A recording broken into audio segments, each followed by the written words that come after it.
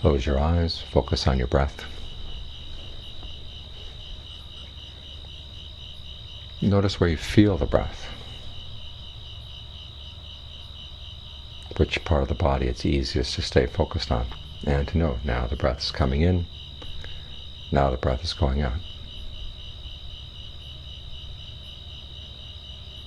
Try to stay focused right there.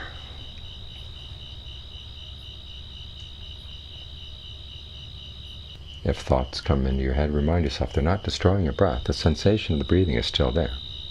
Try to maintain your focus on those sensations. And just let the thought pass through. Think of your body as being like a big window screen. The breeze flows through the screen. The screen doesn't catch it. it goes right through. Thoughts can go right through. You don't have to catch them. You don't have to look at them, turn them over, decide whether they're good or bad. Just let them go. You want to give the mind at least some time of freedom here where it doesn't have to think about its thoughts, doesn't have to deal with this issue or that responsibility or any of the issues that it normally has to carry around. Give it a, a few moments of freedom. Or just be aware on its own.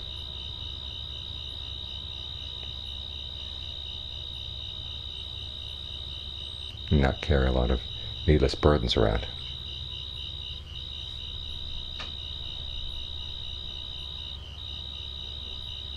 This is a good skill to have, the ability just to drop all your concerns and let the mind be still for a while. It's a basic skill for maintaining your sanity. Because otherwise the world can drive you crazy got to do this, you got to do that, and you know you need about 75 hours in a day to take care of all the responsibilities that would come your way. The mind never has any chance to just simply rest and gain its bearings. It's always being pushed around by other things. Spins around here, gets pushed up here, pushed down there,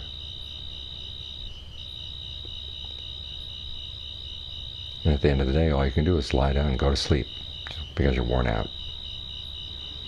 Well, the meditation allows you to take some time to rest without having to go to sleep. In fact, it's much better, a much better kind of rest because you're awake, you're alert, you're aware. This kind of awareness, once it settles down and it's very still, is a healing awareness for the mind.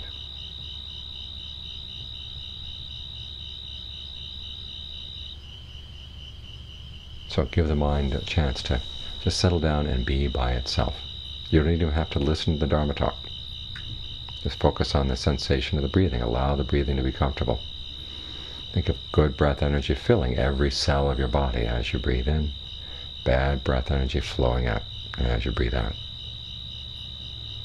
So the breath is nourishing and cleansing. In this way, both body and mind will benefit.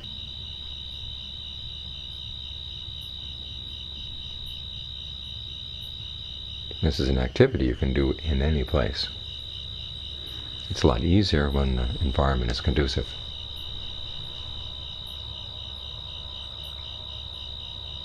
And the environment here means two kinds of things. One is finding the right physical environment, like the quiet place we have here. But that's not nearly as important as the general environment of your life. It's not so much a matter of where you're meditating, but the kind of life you live.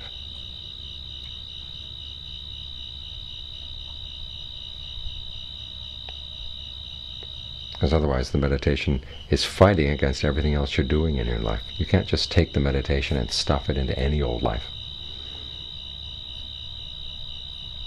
It's like trying to grow plants in a concrete sidewalk. The plants may grow in the cracks, but that's it.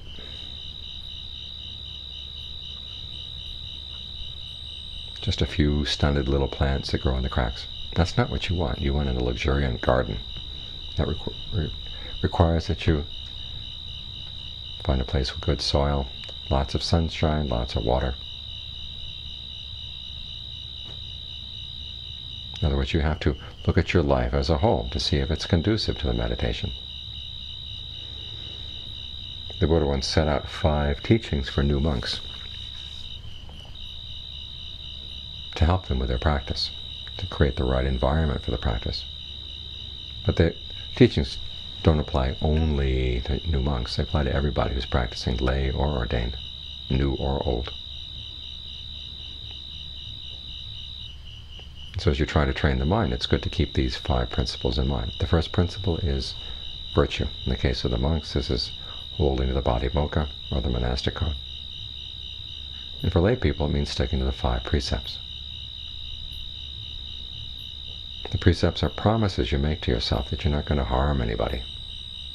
You're not going to kill anything, anybody, you're not going to steal anything, you're not going to have any illicit sex, you're not going to lie, you're not going to take intoxicants. Because you know that these activities are harmful. You see other people doing them and you realize how harmful they are. And if you want to be fair, you have to realize that if you do them, it's harmful as well. So you make this promise to yourself that you're not going to overstep these precepts. Now does this help the meditation? It means that when you sit down and meditate, you don't have the harm you've done to yourself or to others filling up your mind. You don't have to be filled with regret. As Ajaan Fuang once said, it's much better to think about what you do before you do it than have to think about it afterwards. Because when you have to think about it afterwards, usually it's a matter of regret, remorse, wishing you hadn't done it and wishing you could go back and undo it, but you can't. That kind of thinking is really frustrating.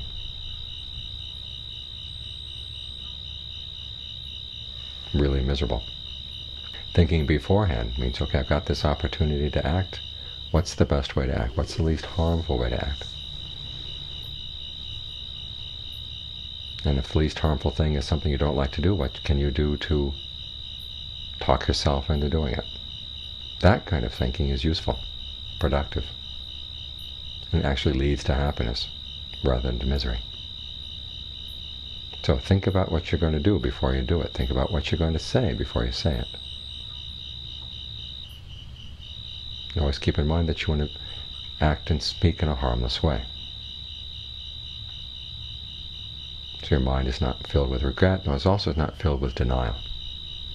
That's often our response to ways we've been acting foolishly or carelessly, thoughtlessly. We deny that any wrong was done, or that it doesn't really matter, or that if somebody was hurt, that person doesn't matter.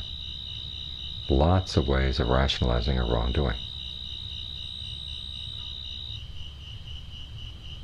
And if your mind engages in that kind of rationalization, it's lying to itself. And a mind that lies to itself is not going to do well in the meditation.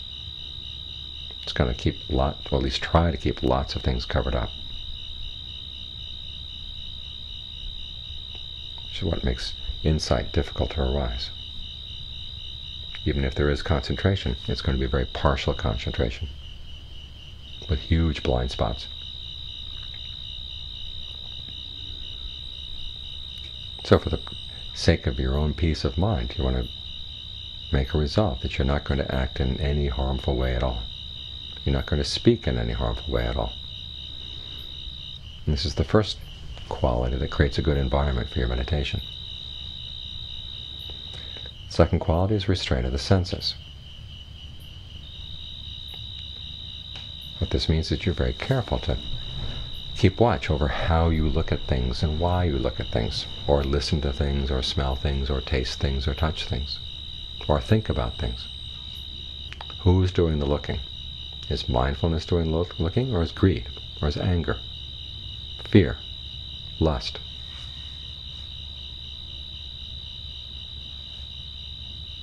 If you're looking at things for the sake of provoking lust, okay, you're stirring up more trouble in the mind. If you're listening things for the purpose of provoking your own anger, again, you're stirring up trouble. So in cases like that, you have to learn to look and listen in a different way.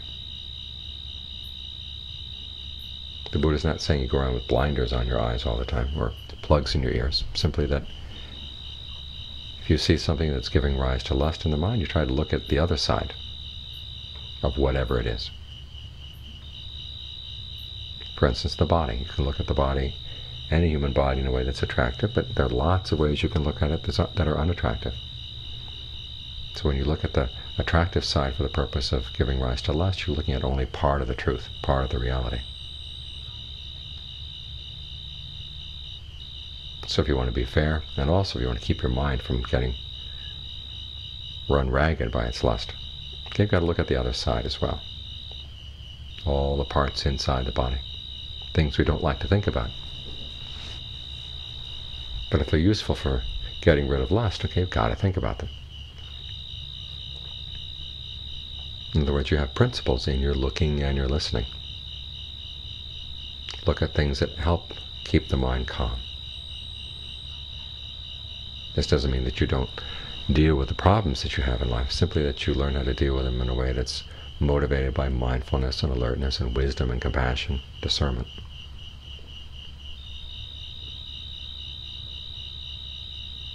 Rather than simply using them as chess pieces in the game, trying to get whatever pleasure you can get out of life. Whether it's the, the pleasure you find in lust or the pleasure you find in anger or whatever.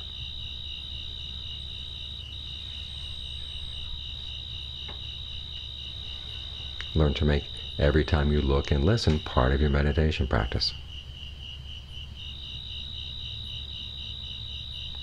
When you find that when the time comes to sit down and close your eyes, you don't have a lot of garbage in the mind.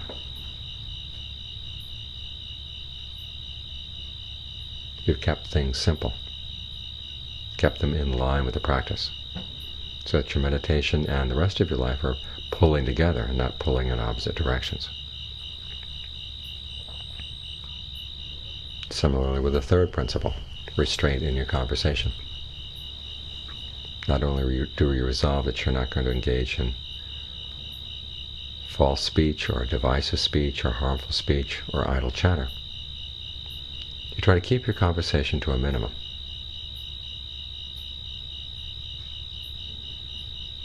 Ajaan Fuang used to say a good lesson for, for any beginning meditator is to watch what you watch what you have to say. And if what you're planning to say is not really necessary, don't say it. And you'll find that it cuts through an awful lot. If you ask this question every time you're about to open your mouth, is this really necessary? Same way in World War II they used to say, is this trip necessary? As a way of conserving energy. Well, it's the same way. You conserve energy of the mind when you keep your conversation to a minimum. Because it's so easy for one sentence to turn into two, and then five, and then four, sixteen, two hundred fifty-six. When there are lots of sentences, the opportunity for misunderstandings, hurt feelings rises as well. The opportunity for useful entanglements rises as well. And that again makes it harder to meditate. And if you're thinking about a lot of things to talk about, that makes it very difficult to keep the mind still when you come to meditate. But if you keep things pared down, again, when time does come to meditate, there's not a lot of clutter in the mind.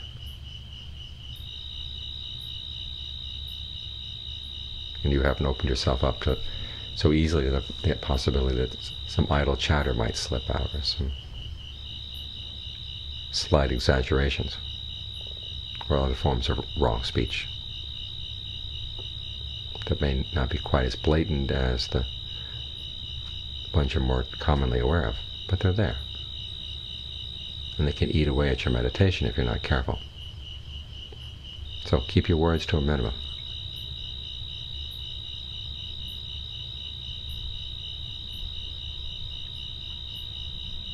You find not only is it good for your meditation, but if you're really careful about your speech in this way, people will listen more to what you have to say. A person of few words tends to say words that are more worthwhile.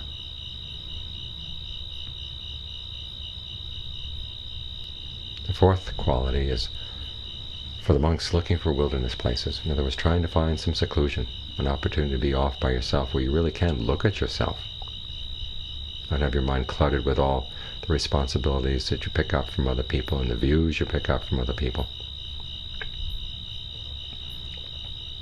Try to find a space in your life when you go off and be alone. This may simply just be a corner of your home. Or small time set away, set aside every day. But the mind really does thrive when it has an opportunity to find some time off alone. It can really get in touch with itself.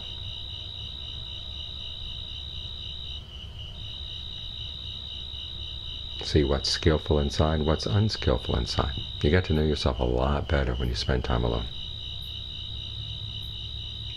To try to find as much seclusion as you can. The fourth principle is right view.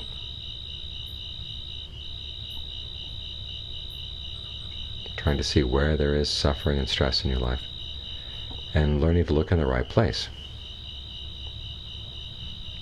to do away with that suffering and stress. In other words, you have to look inside. You realize that even though people outside may be doing harmful things, the real reason you're suffering doesn't have anything to do with them. It has everything to do with what you identify with, what you claim as you and yours. So you look at your clingings. Your clingings, you dig a little deeper and you try to find well, what's the craving that underlies this clinging? Because that, the Buddha said, is the true source of suffering. And you're very clear how you're going to get to that source. You've got to develop virtue, concentration, and discernment. these things are the path. once your understanding of suffering falls in line with the right general principles, that you're going to be a lot more likely to see the genuine cause and then dig it up. Really understand the suffering enough so you can put an end to it. Most of us know that we suffer, but we don't really understand our suffering, and so we keep pushing and pulling at the wrong places. We never get to the real root cause.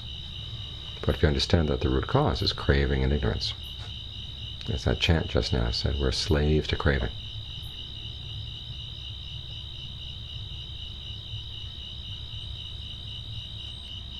Now this doesn't mean that we're not allowed to want happiness. After all, that that other chant we had, may I be happy, that's how it starts out. And the Buddha encourages that attitude. It encourages you to look for true happiness. And to shape your desire for true happiness in a skillful way. There is right effort on a path. Right effort starts with generating the desire to let go of unskillful qualities, generating the desire to develop skillful ones in their place. That kind of desire is the path. But it's the craving to have the sensual pleasures that you'd like, or the craving to be in a certain sort of way, or once you've got something that you've developed an identity you don't like, the craving to destroy that. Those things cause suffering. And if you dig down in every, whatever suffering there may be in the mind, you find that ultimately you find, you can trace it back to these three sorts of craving. Sensual craving, the craving to become this or that, or the craving to destroy what you become.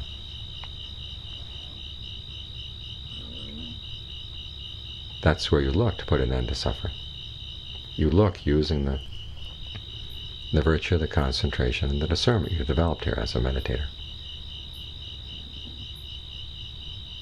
So once you understand that, it's much more likely your meditation is going to get results because you look in the right places and you look for the right purposes. It's not simply the case that simply having a still mind or just letting go, letting go, letting go without understanding is going to bring any awakening.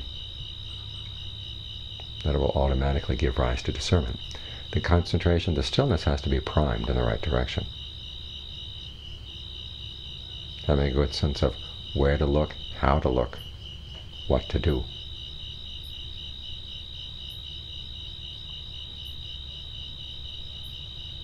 So those are the five qualities that create the right life environment for your meditation, whether you're a monk or a layperson. You hold by the precepts, Exercise restraint over the senses, restraint over your conversation. Try to find seclusion and develop right view. When your life is shaped by these factors, you're creating the, the right environment for your practice to progress, to prosper. Whether you're in a quiet place like this or a place with a lot more activity. Remember, the really important elements of the meditation are not what's happening outside, but the decisions you're making in terms of what you do and say and think. How you look at things, how you listen to things, how you talk about things. This is what creates the really important environment that makes all the difference in the practice.